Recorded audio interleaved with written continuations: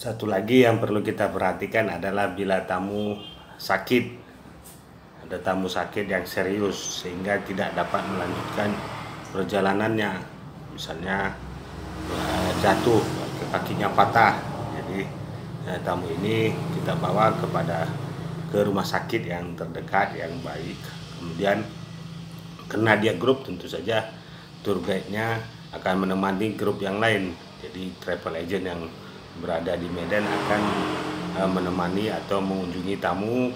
Dan tentu saja sebelumnya sama sekali harus kontak uh, saudara atau istrinya uh, mengontak asuransi mereka yang berada di negaranya. Seperti misalnya Belanda atau Holland ya.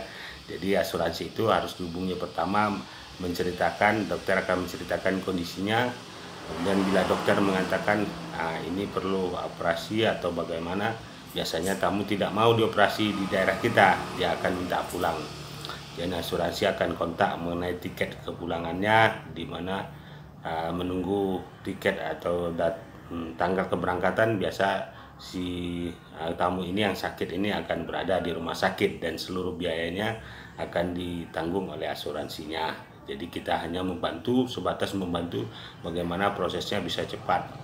Mengenai pulang atau tidaknya juga asuransi yang akan menentukan juga masalah tiket kepulangan ke negaranya ke Belanda misalnya juga asuransi yang akan memutuskan.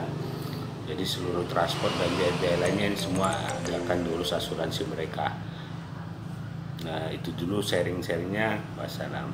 Tolong subscribe ya dan share ya, kepada seluruh sosial media yang ada punya. Wassalam